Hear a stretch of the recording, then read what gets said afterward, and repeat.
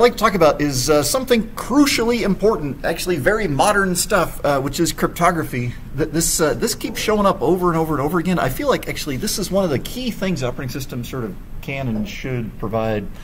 Uh, it's a lot of it's pretty new. Uh, when when you know uh, Linux, Mac, Windows were sort of when they were picking what features were going to make it in the operating system, crypto was uh, a lot more primitive than it is now. And th- there's only a couple of algorithms that kind of have survived from that era.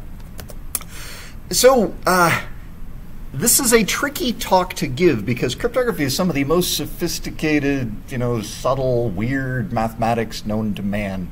Uh, and this is uh, uh, way more than I can do in a, uh, you know, so I, I have basically one lecture left uh, after, this one. So I'm not really going to talk about how to write these things. And uh, th- there, there's a second reason to not talk about how to write them. You shouldn't write them. You should find an existing library that does them. And this is not just out of sheer laziness as it is normally, right? Uh, it- it's because writing cryptography correctly is really hard.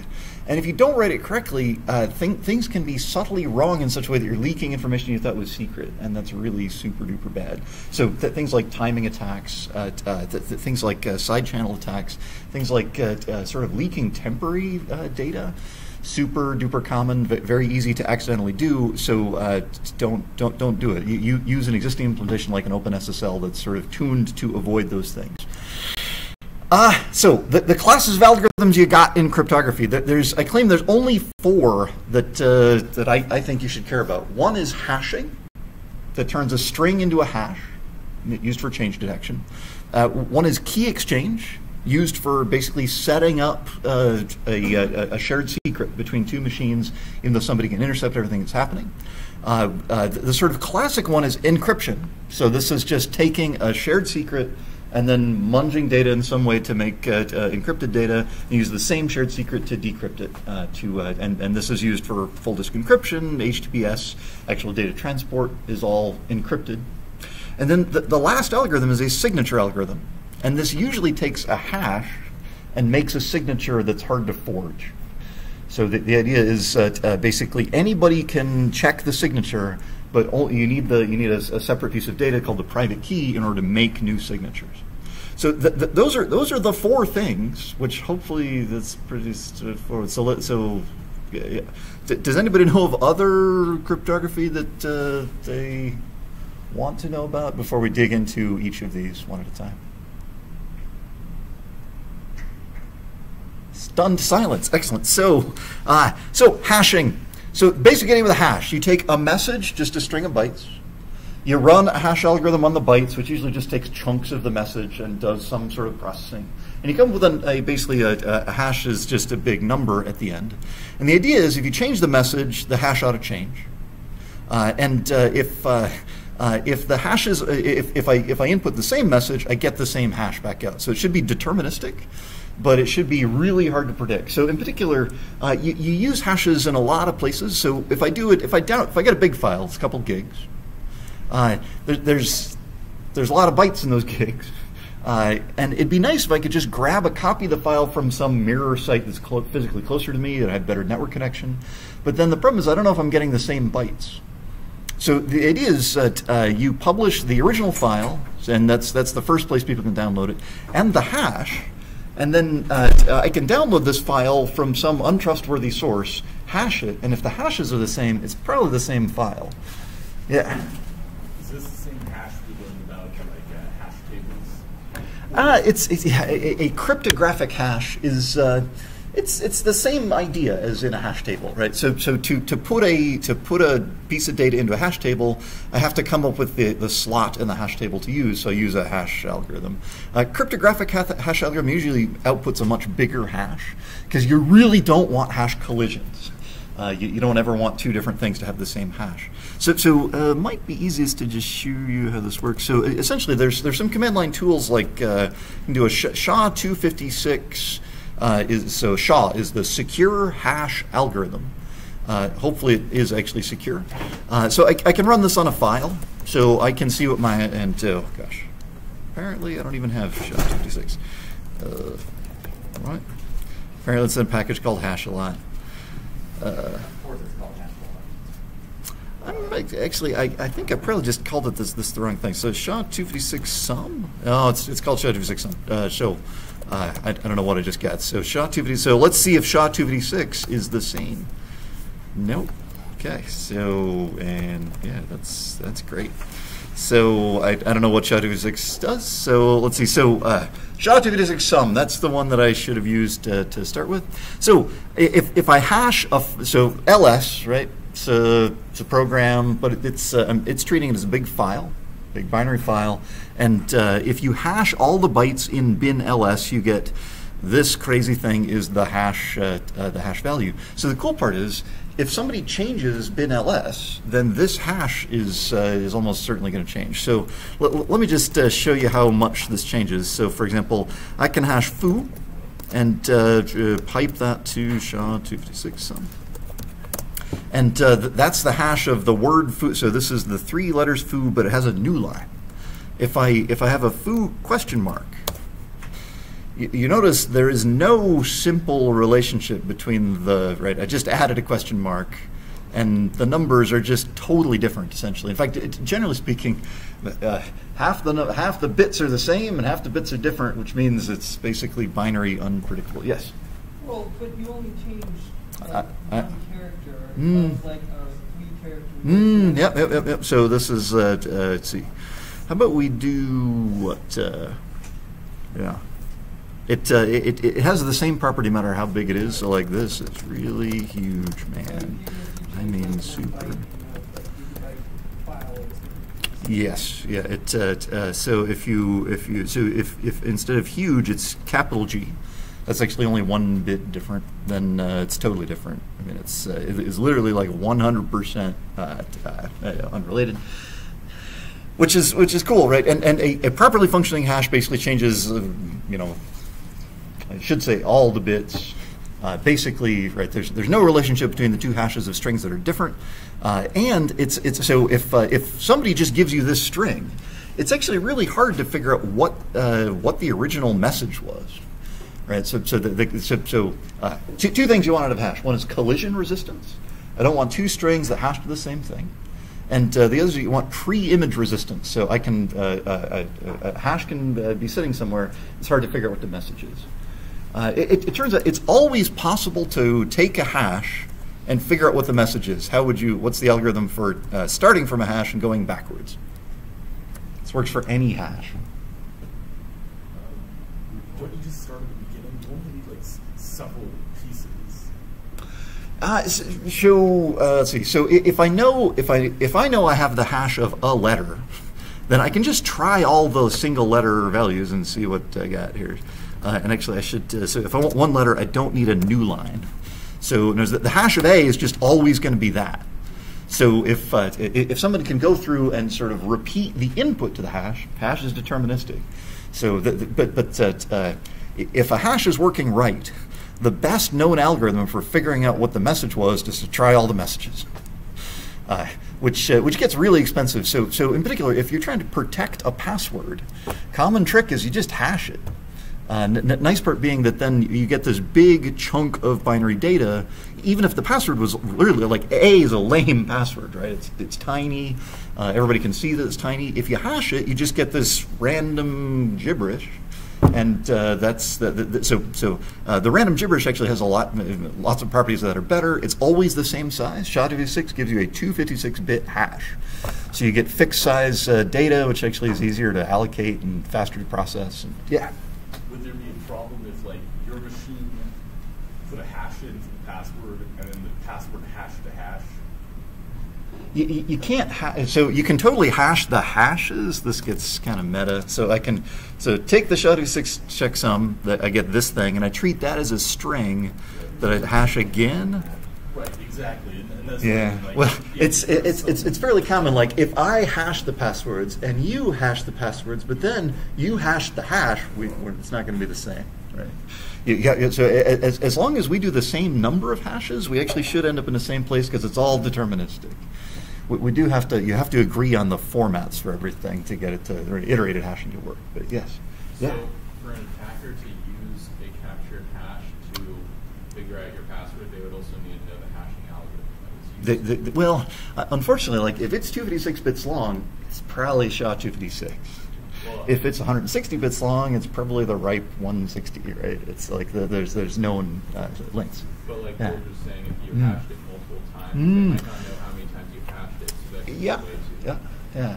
Well, the, the other so the nice part about hashing it multiple times, there's actually several password protection algorithms that hash the password like four thousand times, which is and is it, it, but it's just a constant. Like oh, you always hash it four thousand times, and it's just to make it more expensive for an attacker to check, mm-hmm. right? And it's pretty cheap for you to just take the user's password, you hash it four thousand times. Like that's not really that big a deal, The pro- because you only have one password to hash.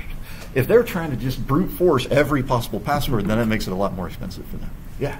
So, if you're trying to brute force an encrypted thing backwards, how Yeah. do you tell if you've got? Well, there so if, if like, uh, I, I'm, I'm making up random strings and hashing them, and the point where like I make up random string and it hashes to exactly what you were looking for, that's it. Then you're done. Okay. And uh, actually, there there are really scarily good tools for brute forcing passwords. Actually, so, so uh, uh, Hashcat is is a tool that run it uses GPUs. Like uh, if you have like a, a rack of eight. Uh, you know GTX 1080s in your machine, like it will distribute the cracking over all of those GPUs. Like uh, and and you can you can crack some uh, really surprisingly long and complicated passwords in surprisingly short period of time. The, the other thing that's kind of scary about Hashcat, you give it a list of things you might think be the password, and it'll start with those and then start combining them or adding on things. And I mean, it's it's ra- it's randomly guessed stuff that you would not think would be possible to guess mean, search it- space. doesn't it try to like just um? It'll do the usual things, yeah. We're like, oh, I replace the I in the word with a capital with a number one, right? Or I replace like lo- lowercase with uppercase in random orientations, or I put an exclamation mark in the end because all the stupid password algorithms require like a, a- you know some sort of uh, thing. So you're just like, oh, I'll just add the punctuation at the end, so they just you know it's e- easy to, to predict how those things are going to uh, work. That's all baked into Hashcat, so this this is still a little bit scary. Uh, yeah. Uh, it- so Generally speaking, it's it's considered good practice. Uh, if I've got like a database table of usernames, I should have the hash of the password, not the bare password. It's not perfect. Like if somebody steals the hash of the password, then eventually, if they do enough work, they could probably uh, recover them. But it's better than just having the bare password like stored in the database table. Uh, the, the, the cool part is like uh, once I hash it, I don't even know what their password was. I don't care. Like they, they try and log in on the client. I, I run a hash before I even do anything with it, right? I don't send it, I don't uh, process it unless it's already hashed. There's a there's a Yeah. there's a site I follow where Yeah. people keep track of websites that just keep track of their passwords. Yeah, yeah. You go, you go and say, I forgot my password. They're like, don't we're sending your password back to you. And you're like, no, I don't want that. What? yeah, and send, send it in an email. That's uh, uh, e- e- email is email evolved from like non-encrypted protocols. So yeah, yeah. Is there an attack where like you log in by like just injecting the hash that you want So- so, so they call this pass the hash, uh, and uh, basically, if, if you're just using not passwords but original ha- but hashes for everything, you may not even need the password. You just like uh, you know you need a special client to do this, but you basically just send in the hash that you stole from somewhere, and then uh, uh, that's that's good as an authentication token. Uh, lo- lots of counter counter. This is this is the way security works, right? Like you have like got passwords to protect the machines. People steal the passwords, so they attack the machines. I hash the passwords to make them harder to steal. Oh, people just steal the hashes instead of the passwords. Okay, what I'm going to do is I'm going to take the hash from their original password, and then I'm going to hash the hash with a random number that I send from the server, so you can't use the same hash to authenticate more than once. And then we do we, we, do the same trick on both sides, and then we get the uh, yeah so. Still not perfect because then if they could intercept this original one, then the the un the un. Uh, so, but you, can yeah. So, so, so iterated hashing and uh, of course there's countermeasures to this and uh, back and forth forever. That's uh, war never changes. Uh, so, yeah, so, so question about how hashes work. There's a bunch of hash algorithms. There's uh, there's one that's really famous and ancient called MD5. So MD5 sum, you can see how old it is because it's really a short hash. Uh, and uh, it's it's really popular. It's actually baked into several languages, like PHP has a keyword for you know uh, MD5 sum. Uh, MD5 is what they call uh, t- uh, so, so SHA-256. No one has found two strings that have the same SHA-256 hash. And it's only 256 bits worth, right? So if you got like 300 bits of data, like one line of text, there's got to be tons of different one single lines of text that have the same SHA-256 hash. It's just there's so many of them, right? There's 256 bits worth, right? So two, you, you do like two to the 256 check uh, checking, and eventually you'll find one. It's just that's a large number. Uh, MD5 uh, is it's a it's shorter, which makes it easier to find collisions, and b uh, the structure of the hash has been broken such that uh, uh people can basically construct multiple strings that have the same MD5 shum. Right, and this is kind of a known thing. Uh, th- this is this is really bad depending on what you're trying to do. It's it's actually it's a little weird. It's still fine to use MD5 to protect a password, other than the fact that MD5 is pretty high performance hash. So Hashcat is Hashcat really works great on uh, uh, MD5. Uh, so, so uh, uh, other than being efficient, there's nothing particularly wrong with it as, as far as uh, protecting passwords. But uh, uh, people tend to do other stuff. So we're going to see several uses of hashing for, for more sophisticated crypto operations. MD5 is definitely not useful for those. So, so, for example, you might sign a hash with a public key, and that's that's a really bad idea with MD5 because someone could get you to sign one copy that says like, oh yeah, Lawlor runs Lawlor.cs, and then you could have secretly come up with a separate like uh, uh, uh, signature that says Lawlor runs WhiteHouse.gov, and then I'm president. Yes. At, at the point where people started buying things on the internet, how advanced was cryptography? it was it was getting there. Yeah, yeah, yeah. I, I mean, so, so uh, hash algorithms. Uh, MD5 is from the 70s. SHA-256, I think, is from the 90s. I, sh- I, should have looked up the, the dates. I mean, the, the, the, the stuff was pretty well known, and, and the notion like uh, so don't store passwords in clear text, store their hash. Dates from like the 1970s. Unix started doing that, right? Like the the shadow, uh, etc shadow instead of etc password. Uh, so totally totally well known. You know, the, the annoying part is like uh, uh, the your your normal processing path can be like take the user's password, hash it, do some awesome like you know random number token authentication key that goes to the server. So you've got it really well set up. But then there'll be some like sign up process, some debug process, some log file. I, I believe with Facebook the problem was like some log was actually like just logging requests, and it got everything, including like the passwords in there.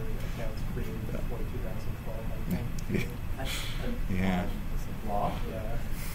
I, I need a password manager.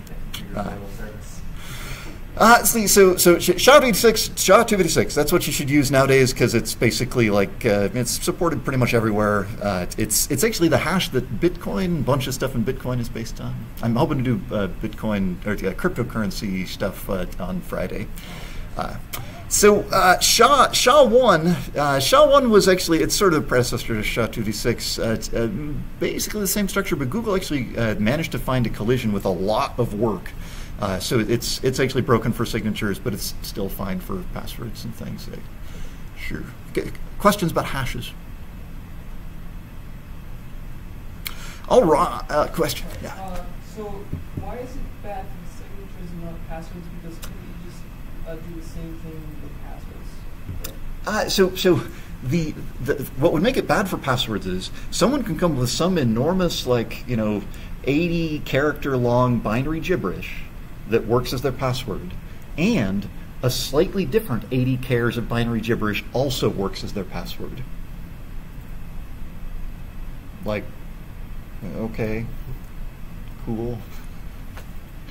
But like, the, the, there's no so, so uh, MD5 is still not broken as far as pre-image resistance, which is really what you that's all basically all you need for uh, uh, uh, password protection. Oh, so you couldn't like find the actual password. Yeah, so if, if you give me an MD uh, an MD5 hash, the cheapest way to figure out what the message is is just try all the messages. And, and that's that's true for every hash, right? That's true for, for good working hashes as well. It's it's a little faster for MD5 just because uh, it's a short hash, but yeah. So uh, next step, uh, and this is crucial for doing network stuff. So, uh, uh, key exchange is the process of doing some local compute and some untrusted network comms and coming up with something that is, uh, uh, that is, that is shared between you that someone watching every network message you send can't get, which is weird. It, it's, it's, it's, it's weird this is even possible, in fact. Right? In, in other words, like I can I can t- you know be, be talking to any one of you, and we can sort of be you know we'll have some some data we can keep secret, and uh, uh, somebody can like uh, you know hear everything we say, but still not be able to figure out what we have actually communicated, which is uh, kind of beautiful. Is, hey, correct me if I'm wrong, uh, is this kind of like the mailbox principle where you got something in the mailbox so I haven't heard the mailbox principle. Yeah. uh, not principle. Yeah. Yeah. So, so, so for something like HTTPS, right, you, you, you want to connect to some server. You want nobody to be able to intercept uh, your, your connection to the server, but everything you're sending, like on Wi-Fi, it's all just getting blasted out into the ether, right? Like the aliens in space could be just you know sucking down all of the uh, the data. Uh, which uh, so, so uh, the, the, the, the, the theoretical idea here is that I'm gonna I'm gonna basically just make a random local number, and I can make that up you know myself and then you make up your own uh, random local number. And then we're going to do an irreversible operation. A hash a hash is designed to be sort of irreversible right? Pre-image resistance. It turns out a hash doesn't nobody's figured out how to do a hash this way because it doesn't have the, the next step you need which is a commutative operation.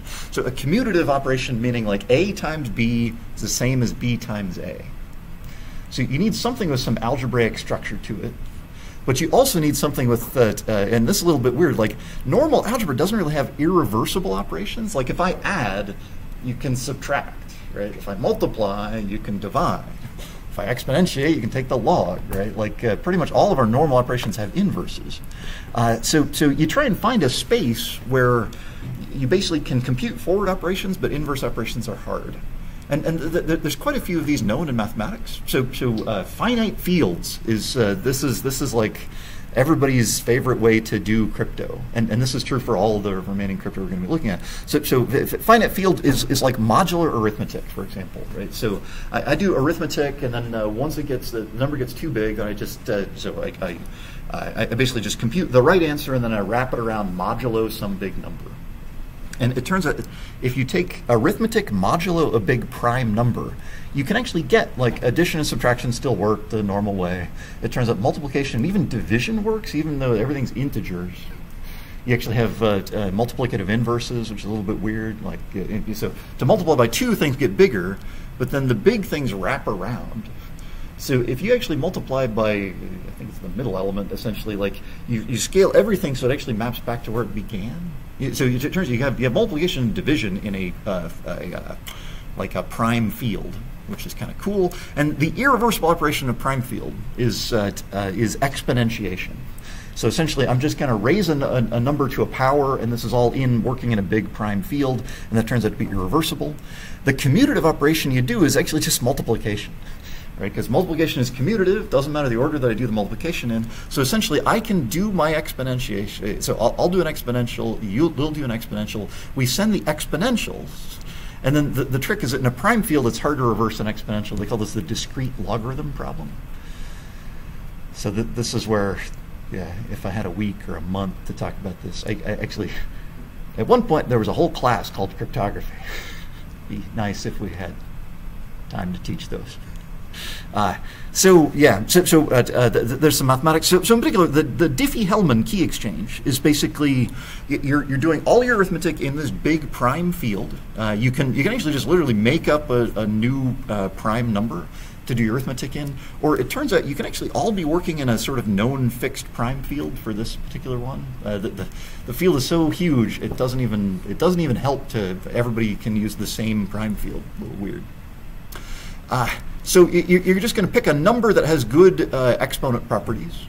Uh, we're going to make up uh, two random numbers A and B. So essentially, I've made up this random number A, you've made up your random number B. We raise our generator number to a generator is usually like two or something, right? It's usually simple. Uh, so I, I, I just take two to my random my uh, secret number. You raise two to your secret number. Uh, all modulo this big prime, and of course the, the numbers. uh, It, it, it seems like they would intermediate get huge. Turns out in in a prime field, like if I've got a 1024 bit prime, all my numbers are basically 1024 bits, which is nice, right? So this is uh, it's a reasonable amount of data. Uh, and then I can basically just I can send you g to the so I just computed g to the a. Uh, so I send you g to the a, and then you raise it to the b. Uh, you sent me your g to the b, and I raise it to the a power. And and basically, I don't know if this is uh, legible at all. So. So what, what, what makes this work is the fact that multiplication, so, so exponentiation, uh, so, repeated exponentiation is like multiplying the exponents. And then uh, uh, uh, it turns out uh, multiplication is commutative. So, so the irreversible operation is exponentiation, which is it's hard to reverse in a prime, uh, big prime field, and uh, and then the commutative operation is a multiplication. So, so the, the weird part is we've an attacker can see g to the a and g to the b, and they can't. They don't have the original numbers, so they can't figure out what our shared secret is, which is a little weird. So we actually just made this shared key, and no one else in the world can know that except us because we have our secrets. Yeah. Is this a number theory or what Yeah. math is this? Yeah, I, uh, I think it's just uh, algebra, but it's the abstract uh, algebra uh. Yeah, I mean it's it's, actually it's it's 400 600 level mathematics. Yeah. No, no, no. It's uh, it's elementary algebra. In other words, from the elements of, uh, of algebra. So, uh, uh, basic idea, and, and, and th- this is true for a lot of crypto algorithms. Essentially, like there's some prime numbers involved, there's some wacky mathematics. If you screw up the mathematics, A, your code might not work. B, you may come up with a shared secret that's always zero, right? Like, might, uh, might not be a good idea to do that. Uh, so, uh, uh, right. So, questions about this thing? So, so, so this is called Diffie-Hellman key exchange. It's ancient, from the 70s, right? And it's it is actually the basis of you know a, a lot of HTTPS. Like this is, I connect across the network. This is the first thing I do is I establish a shared secret. Uh, it- so so uh, you can intercept these all you want because they're sort of already been exponentiated. It's hard to figure out what A and B are other than just brute forcing every possible uh, uh, value, which in a 1024-bit space is even worse than the 256-bit hash. Right? Uh, super hard to figure out. Uh, the uh, uh, 1024 bits is barely enough. Uh, t- uh, turns out uh, they've actually cracked 768 bits, so 2048 is probably a better idea. Uh, uh, if, if you're using prime fields, 2048 bits is starting to get big. It's like uh, uh, 512 bytes. What's what's 2048 over uh, uh, two- 2v6 bytes, I believe. Uh, so so th- th- that's a lot. That's a couple of lines of text, right, uh, as, as binary data. So uh, uh, there's also these things called elliptic curves. Elliptic curves actually just division is the expensive operation. So you can just do literally multiplication in, in an elliptic curve, and it's it's it's a it's its own strange definition of multiplication. Uh, but uh, yeah, and, and uh, elliptic curve crypto is beautiful, and uh, and uh, so, so you'll either see just Diffie-Hellman key exchange, big primes, or elliptic curve Diffie-Hellman, which is exactly the same idea. It's just we're in a different uh, uh, different number space uh, to do it. People are looking at Ted unsatisfied. Y- yeah, I, I agree. Yeah. Is this the, the, this is literally like algebra, algebra, right? Like, uh, and and and uh, so, so one of the the weird parts about the, the abstract algebras is that uh, you set it up so that uh, basically certain number of the rules from you know, ordinary uh, algebra uh, continue working. So it, it turns out like the, the way you structure a, so a prime field, for example, still has multiplication. You iterate multiplication to get exponentiation. Uh, it, it turns out uh, prime fields just don't have logs. That's the one thing. That, like logarithm doesn't really work in a prime field, and, and it's essentially because uh, you know you, you've got this curve when you do an exponentiation, and the prime field means that it's going to wrap around. So you get uh, so if, if I if I have this output value, it's a really non-smooth function. So there's no real way to figure out like where I came from, uh, other than just trying all of the, the x values.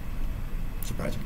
Uh, so so uh, uh, yeah, if, uh, if if you constructed the prime field correctly and your arithmetic is all correct, then essentially you still get the rules of normal arithmetic, and uh, yeah. That's- here, here's where to really explain how this works, I should do a little bit of code. the scary part is then you're going to want to implement it yourself. Diffie-Hellman maybe is okay to implement yourself. Yeah. Is there a course offered here that's just like not so much the theory behind cryptography and security, but just like here are the rules that you should follow Hmm. to not screw up at your job? like, Hopefully that's this lecture. yeah. Right. Uh, so, so D- Diffie-Hellman key exchange. It's uh, th- it's this well-known thing. It's actually fairly ancient, and uh, it establishes a shared secret with nothing except like uh, you know observable network operations and sort of locally generated stuff. Yes. SSH does? A- key exchange in the same way. Actually, uh, yeah, yeah, and and this this raises a great point. Uh, so, a couple of things that you really ca- so it's easy to screw this up in a few ways. So, uh, there have been cases where the local secret was guessable. Uh, people will say like, "Oh, I'll just call rand. That looks random." Rand gives you the same random numbers every time you call it. So pretty much if the program starts up and it always its local secret is always going to be predictable, like you have literally no secrecy whatsoever, right? It's total fail. So people are like, oh, uh, we'll srand time. That means any shared secrets you generate in one second are going to be identical, which is really bad. Uh, but uh, time is not a secret, right? And in particular, if, if you srand with time and then like generate the uh, the, the local secret, this uh, this is like uh, uh, way too easy to guess. I mean, the problem is you need like a 20, 20 48 bits of really unguessably random stuff, and this is this is hard to hard to do. So, so uh, th- th- there's uh, dev urandom is designed. So this is built into the kernel, and it just uh, cat dev urandom. Its job is to spit out random gibberish that is unpredictable. Just a little weird. So, so, so that's uh, that's binary gibberish. Let me uh, base 64 it, I guess. That's that's ASCII gibberish. It's just non-repeating gibberish. That's its whole job. It just emits gibberish.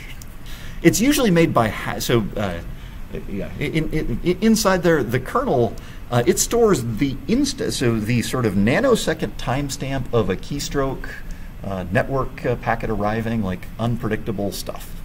Uh, it, it, uh, it basically any any randomness that it can extract from the hardware, it actually goes into the kernel randomness pool, and then when you want to uh, pull stuff out, you hash it, which makes it hard for somebody to reconstruct the pool. Yes. Are there some are there some websites still that just use keys for passwords? Keys. Like, isn't, Hmm. I heard that was a huge problem with Adobe. Adobe got there, when there was a hack with Adobe, they didn't like release. They, they passwords got leaked, but it wasn't the passwords; it was the keys to those passwords. Because people were able to like guess passwords, but also Oh. with like the secret questions, they were able to Mhm. figure out the password of one, you could figure out the password of any one. No. that same key. Uh, so, uh, ha- hashes of passwords sounds plausible. Ha- Has, has those properties. Uh, and uh, so, so, usually none of these. So, so this is like not really user facing at all. So, so Diffie-Hellman is something you do at uh, Connection Startup, and basically like it's it's just authenticating one machine against another, or it's it's it's setting up a shared secret with some other machine. Now, here's the problem with uh, Diffie-Hellman: you get perfect secrecy with the other side, but you have no idea who the other side is right? So, so for example, uh, uh, if someone owns my network, they cannot just read the data like I'm sending on. So, like I want to make a connection to Lawlor.cs. I'm like, cool, let me send a packet off to Lawlor.cs, and I get a packet back saying like, oh yeah, here's my part of the shared secret. How do I know it's really from Lawlor.cs? I don't. so, uh, so th- there's an attack against Diffie-Hellman called man in the middle, where essentially, like, you can do a Diffie-Hellman key exchange with the attacker, right? And then the attacker can actually do a Diffie-Hellman key exchange with the server, and then you can pull anything you want with the from the server, but uh, unfortunately, the man in the middle gets to read it all, which is super annoying. Uh, Diffie-Hellman doesn't have anything to prevent that, which is annoying. So, so th- th- th- that's where we need more stuff. Uh, in particular, you, you, need, you need some signatures after Diffie-Hellman. Diffie-Hellman just so, so Diffie-Hellman means no one that can read the stuff on the wire is going to be able to intercept. Uh, so, so I can encrypt stuff based on the shared secret from this point on, and then uh, and then I'm then I'm good. Questions about key exchange? All right. Uh, the classic encryption algorithm is encryption. It's just basically, I have some secret. I use the secret to turn some plain text into ciphertext. I use the same secret to turn the ciphertext back into plain text. So this is this is like ancient. This is the the sort of fundamental cryptographic operation. Uh, the uh, uh, so, for example, the Caesar cipher right takes plain text, adds 13. The the key is constant. That's the ciphertext. You subtract 13. That's the back to the plain text. Yeah. Yeah, this is what I was thinking of. Ah. I was confusing it 'cause Yeah. it also has the word key. Yeah, there's a lot of key, keys occur all over the place. Uh, so, so uh, symmetric ciphers are uh, th- there's there's a, so examples like the uh, AES or Cha-Cha or uh, RC5, RC4. DES, like the, these are all symmetric ciphers. Uh, it's it's kind of the so, so if if I have data on the network that I want to encrypt, we do a Diffie-Hellman key exchange to have a shared secret. Then like everything that goes across the network just has to be encrypted with that secret, and we're pretty good, other than the fact that I don't quite totally know who I'm talking to. It's definitely getting the other side okay, whoever that other side is. Yeah. So, with this one, is the key constant or can the key change? Can it be like shift one the first letter and then two the second letter, so on? So as long as you know how much you're shifting every time, you just reverse it, or is that a different algorithm? Well, so, so it, it, it, encryption can take that key and do whatever it wants with it to the plain text, and usually it's got to be way more complicated than a per letter operation. Like that's that's so so. Actually, all of the ciphers that you can like just do on paper yourself are just totally broken at this point.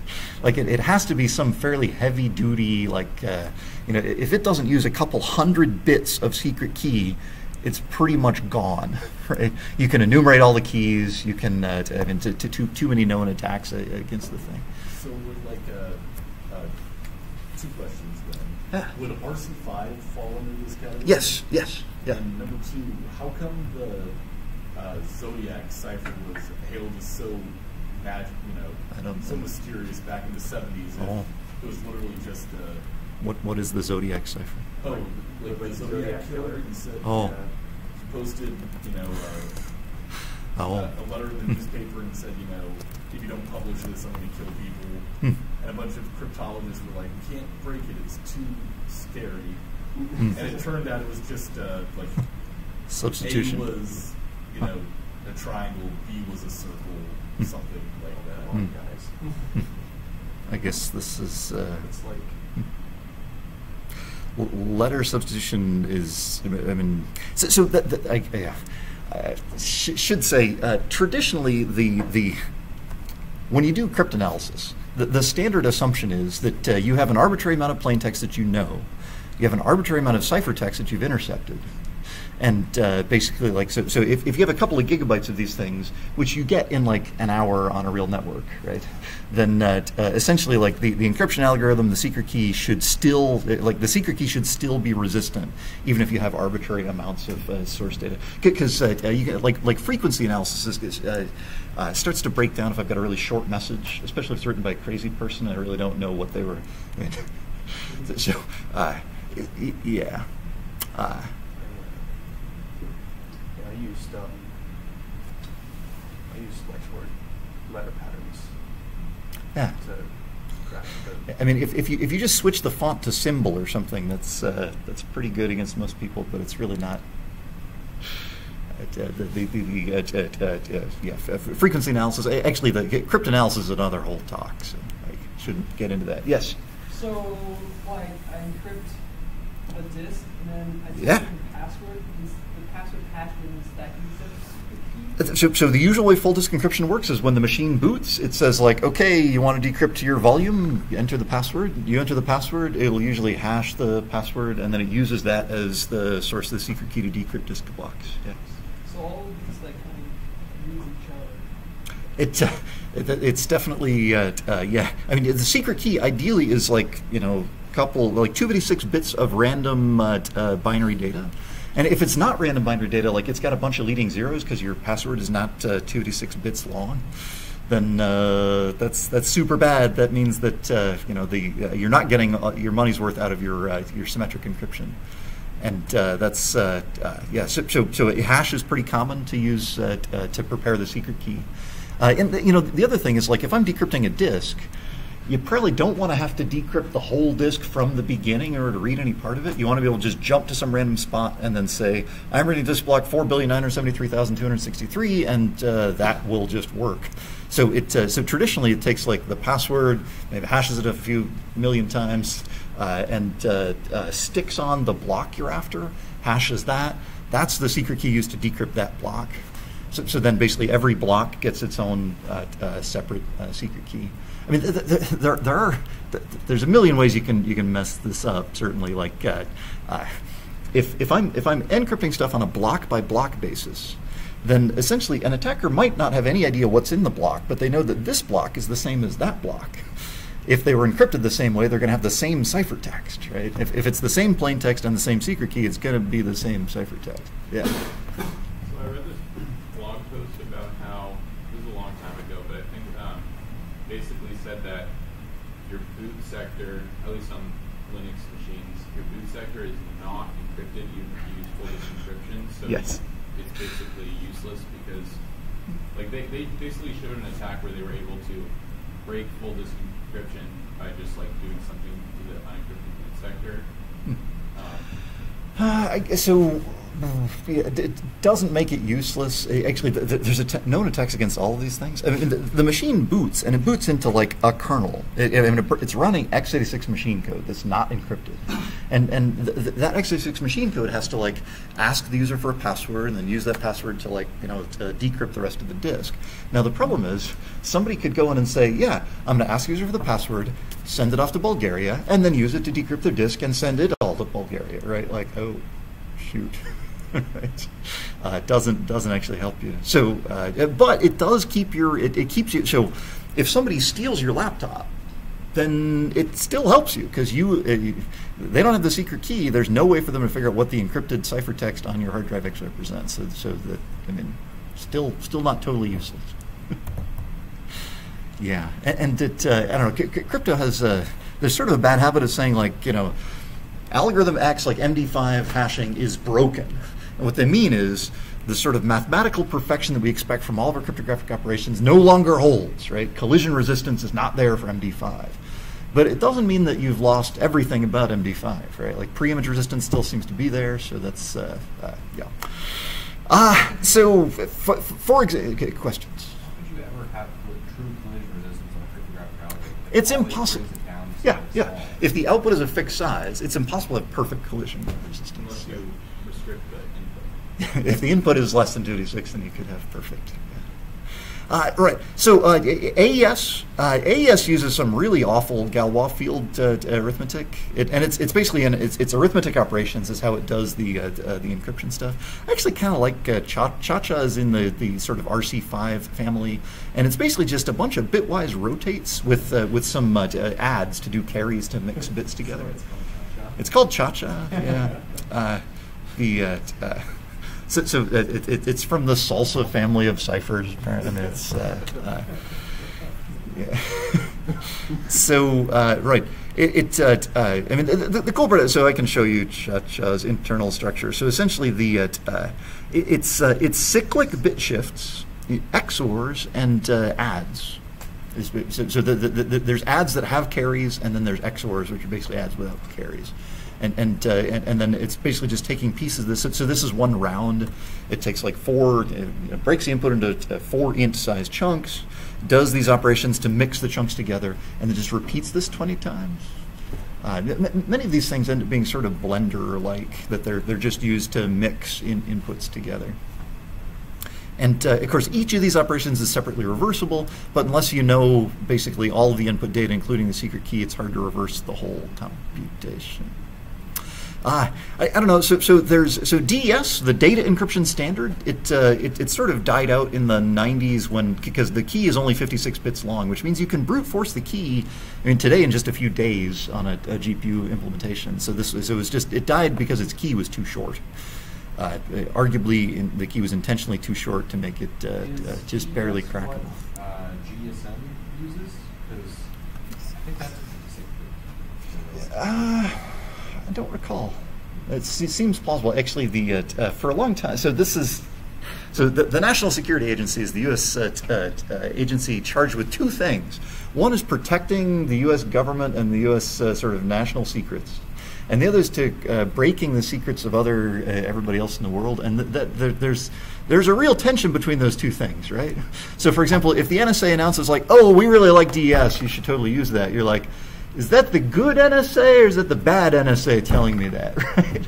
Uh, hard to hard, hard to say. So in, in this case, uh, DES turned out to so, so the, both of those wings were at work in DES because it turns out DES is resistant against differential cryptanalysis because they changed the substitution boxes to make it resistant to differential cryptanalysis. Uh, which so that was the good NSA. Like uh, they actually uh, strengthened DES to make it resistant against cryptanalytic techniques that weren't known for like you know several decades in the uh, uh, outside the NSA. Uh, but the sort of bad NSA made the key only 56 bits long, which is really not long enough to protect even against brute force. Uh, so, so eventually this thing died out. Uh, uh, U.S. government recommends AES, which uses either 128 or 256. 256 is more common just because it matches the size of SHA-256. Uh, it's just and uh, 128 is it's not really that easy to crack, but it's like it, within the realm of theoretical possibility. Someday somebody maybe could brute force something. If you know you convert the solar system into a computer, it's running really fast. You run it for a few million years, like uh, you know you can you can get surprisingly far. Uh, the, the, the thing that scares people about AES is it uses all this fancy like uh, finite field arithmetic that like there may be some algebraic attack against AES, which would be like bad NSA. Don't do that. Uh, it's possible that uh, that there isn't, and that was the good NSA. You can't tell which NSA you're talking to. So uh, I d- d- don't know. Uh, so so. Uh, NSA uh, NIST recommends AES for the U.S. government to encrypt classified data, so they must think that it's pretty hard to crack. So, uh, yes. So when I apply for government jobs, Yeah. there's always a message at the top of the screen that says, "Do not go to this website if you're not like within the United States." Mhm. You know, Uh, for so in the 90s, there was this whole battle about like what what crypto can we export, and uh, uh, 56 bits was export grade. Like uh, if it's 56 bits or less, that's cool. You can give it away. You can sell it off to anybody you want. Uh, if it was more than that, then they didn't they didn't want it to be exported. At some point, they removed. So uh, crypto was classified as a munition, which seems a little a little weird especially so uh, I think what really made that untenable was somebody printed up T-shirts that have like you know the Diffie-Hellman key exchange, which is you know like it's not that much mathematics. Uh, and uh, theoretically, that T-shirt is now a munition. Like if you wear the T-shirt and leave the country, you're it's like exporting you know guns to some. You know, this is uh, yeah. It seems seems a little a little a little weird. At, at some point, the government actually backed down and said like it's not a munition, it's math. so, so uh, simply accessing a website using one of these encryptions from a place where it can be like seen or captured is a problem. I don't, uh, not anymore. So, so uh, uh, this actually was really so in the '90s, right? The web is starting to be a thing. People are like, well, I'm, I want to write a web browser that has encryption that doesn't suck. Can I do that? Like, you can totally do that. You just have to make sure no non-American ever gets their hands on it. Like, it's the web, but like, I mean, there's no way to like just give it away to like local. Uh, lo- local people only. So it, uh, yeah. It, so, so I mean, nowadays, like browsers come with really heavy-duty, hardcore encryption, which I'm hoping to get to. Okay, I got, I got ten minutes left. So, uh, symmetric ciphers. Questions? I mean, the hard part about a symmetric cipher, you just you need to share the secret key. So the idea with a signature algorithm is essentially to break this into two halves. One half that you keep secret, and one half that you can just give away. And uh, essentially, the encryption process will is, is like signing typically a hash. And then uh, the decryption process is you, you, you hopefully will, uh, uh, if I take your digital signature, ver- verify with the public key, I should get the actual hash of the message you signed. So this is what's used by HTTPS. This is how certificates, uh, uh, digital certificates actually work, right? Uh, this is how you actually, you, you verify that you really got uh, Lawlor.cs. The server's identity is proven because uh, there's a signature. And uh, essentially, there's actually usually a cascaded series of signatures. So the server has a signature. Uh, the server says like, "Oh, this is totally my public key." How do I know that's the server's public key? Well, uh, you sign the server's public key. So, so you, you treat that as so server's public key as a message, and you sign it with some key that eventually your browser trusts. Right now, your browser has hard coded in it the public keys for a bunch of different, like uh, you know, uh, like uh, VeriSign. Uh, uh, what are the uh, Comodo? The some of the the, you know the big certificate authorities, sort of the roots of this chain of trust. Uh, unfortunately, there's probably too many of them, but uh, uh, that's that's the political reality we live in. And uh, essentially, the browser can just, from nothing other than its own hard-coded data, validate that, like, yes, this came from VeriSign. I trust this data, right? Uh, and then uh, what what VeriSign? So if if you look, for example, on Google Docs. You, you click the lock icon and you say, hey, show me the certificate for this website. And that's totally unreadable. So it says, this is really google.com. I claim it totally is because, uh, let's see, so if you look, uh, GlobalSign signed Google's uh, uh, Google's sort of intermediate certificate that's signed the, signed the server certificate for, for, for these things. So essentially, built into my browser is the GlobalSign, uh, the, the public key for the GlobalSign root certificate. So, why is GlobalSign signing Google's authorization even if you're using Chrome? Yeah. Uh, Google Google wanted to demonstrate that like uh, we're doing this too. We're just uh, we're not built into trusted in our own browsers, right? Like uh, we we will you know we will participate in the same certificate authority stuff. I mean, the, the the theory actually is that the, these global certificate authorities are supposed to be absolutely deadly serious about protecting their private key. Like the so in particular, the private key is used to authenticate every possible website on the internet, right? Because br- browsers are going to have hard coded in there the public key for these global certificate authorities. So the private key really needs to be kept secret. Not like, oh, I don't want people reading my email secret. Like, you know, this is going to be super duper bad. Like explosions at power plants, at, you know, explosions in nuclear reactors bad. If, uh, if if somebody can like push an update and then, oh yeah, certificate checks out. This sounds good. Like, so so how do you keep something that secret? um, use a method of encryption that computers cannot, and then like Mm, just keep monks it in, or something, Keep, yes. keep like the human sphere in a safe somewhere. Yeah. Un- un- unfortunately, it's like 20, 48 bits of random arithmetic, and then doing the actual signature is usually like more arithmetic than human beings could possibly. Uh, yeah. Uh, but uh, so, so, so, yeah, so, so this idea, so, so the question is should you keep your private key on a server that's sitting on the internet? Well, for the global signing authority, that is considered like a firing offense, right? Like if, if, if it's connected anywhere. So, so, uh, so, so this is kind of weird, right? They actually have, uh, so the root key for DNSSEC uh, they actually publish the, the key signing ceremonies. So they literally fly a bunch of people in, and uh, this is like two and a half hours of web stream. It's like really exciting.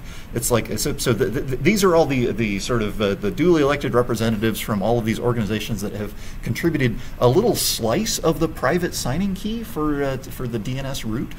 Uh, and then essentially, like, there's this two-hour li- live stream of like this carefully scripted and ar- you know uh, orchestrated like. See if I can find where it actually so people actually start doing some things. So essentially, like, so here's the safe, right? So there's a vault, and they open the vault, right? This is in fact the only situation under which the vault gets opened, and the pieces of the signing key, which are in these tamper-resistant uh, envelopes, get basically taken out, and then there's some official, like, uh, you know, you know, carefully observed protocol by which the you know the pieces of the key are used to incrementally sign the stuff. And uh, they've tried to design this protocol such that uh, there can be a five percent chance that any one of these people is uh, is, like evil. And uh, there's still uh, like a you know one in a billion chance that uh, that the system fails because of this that it's uh, that, that the, you know it's, it's not detected. So so essentially like so tamper resistant envelope that has like a hardware designed cryptographically secure data storage uh, uh, uh, scheme on there like designed to be like to, to, like read uh, read logging uh, uh, basically reverse engineering resistant. So you can be really really serious about this, and that's sort of what they expect out of root, CAs. So for example. CEO emails the private keys. Like this is like okay, you're all banned forever, which is, is is super duper bad. If the cat got out of the bag, would you ever be able to make a new private key that people Uh, Yeah, so, so, so the, the trick is actually you're supposed to sort of roll your private keys like every couple of years you generate a new private key and then you know so, so uh, uh, I should say the other thing that's interesting about these certificates if, if you look at certificate it's got a period that it's valid. So Google's certificates for their own servers are only good basically from March to June right? That uh, they're like we got like a three month window and uh, we think we can keep our servers, you know, the, the private key for our servers secret uh, until then. But like, uh, so, so they basically regen them on a, uh, you know, a couple of month, uh, uh, every couple of month interval, which is which is a good idea. So if it leaks out, there's only a certain window in which their, their public key is is bad. There's also like key revocation lists and things to like say these keys are burned. Like no one should ever trust any of those things. It's, it's hard to guarantee you've gotten the message out to everywhere that it might need to get if, if that happens. So, uh, uh, but, but pub, public key signing algorithms, these are, uh, uh, it, it turns out to be, it's really a lot of the same tech as like a Diffie-Hellman. Uh, so, so like a RSA is basically just working in a big prime field. Modular explanation, uh, modular exponentiation uh, is is basically what uh, what keeps uh, uh, RSA stuff uh, stuff secret. Uh, E- ECDSA is, is the elliptic curve variant of that. Yeah.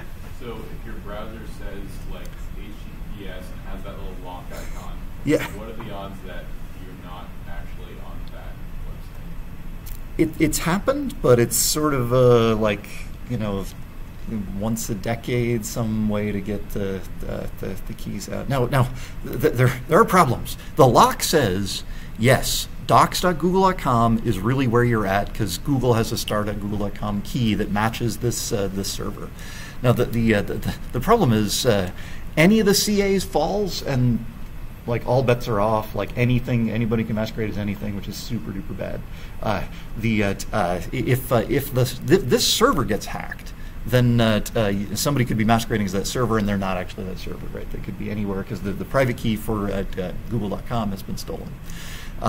The if your browser is is working for the enemy, then you might see the lock because it's just been told to put the lock up.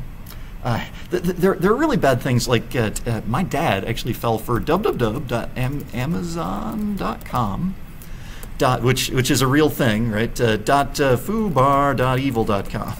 Uh, and, and, and the trick is, was just like, uh, you know, some random hexadecimal stuff. And they had an HTTPS because it's okay. They got a they got a wildcard evil.com HTTPS certificate. It wasn't called evil.com. Some some random throwaway thing. Uh, so, so, so the problem is like you see that you see the lock icon, you're like oh, okay, that's good, but uh, it ha- has to be you, you got to get the bounds uh, uh, just right on on the thing. Also, people are really used to seeing long strings of gibberish in the URL. Yeah, just ignore those. Those are fine unless they're trying to kill you.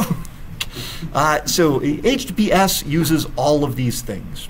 So uh, uh, HTTPS begins. So if, if and uh, I don't have time to really do this in detail. So I- I've got a packet capture from doing AES uh, or doing SSH.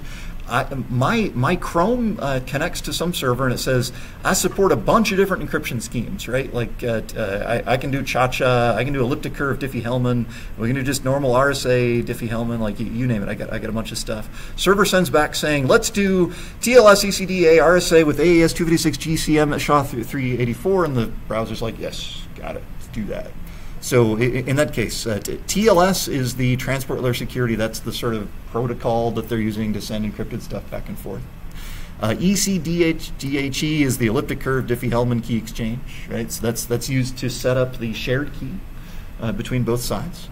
We do an RSA authentication step. So HTTPS certificate is basically RSA authenticated. We're doing advanced encryption standard, the normal symmetric key crypto, uh, and that, that's the 256-bit shared key that we established with ECDHE and then validated with RSA. Uh, Galois counter mode is used to uh, uh, basically uh, uh, update the key as more and more blocks are sent across the network. And then SHA-384 is used to checksum every block uh, so that somebody can't inject data. They don't know what it's going to decrypt to, but they know they're going to mess up your communication somehow. So may, sometimes that's enough. So, so you, you, you they, they actually do hashes on the the packets, the, the messages that they go across. So questions about that? So like that's that's self-explanatory, right? A lot of moving parts. This is a huge reason to just use a web browser because you say HTTPS, it does all of this automatically. and in a few milliseconds. And in a way that, like, A, is implemented in a pretty good fashion, and B, if it's broken, it's the browser's problem. They fix it, and they will, they will get the thing updated. You just got to make sure it's HBS, and then you're, you, generally speaking, pretty, uh, pretty good. Questions?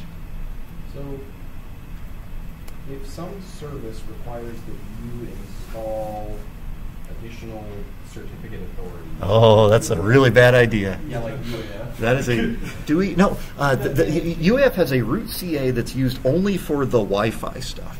It doesn't go into and, and this is the problem with having like the uh, we'll have a program that just rifles around your machine and changes things that need to be changed. Uh, yeah, it uh, th- th- there are so so uh, there was a big scandal where ASUS or somebody had uh, shipped with a backdoor root CA so they could man in the middle your SO. Which, which company was it?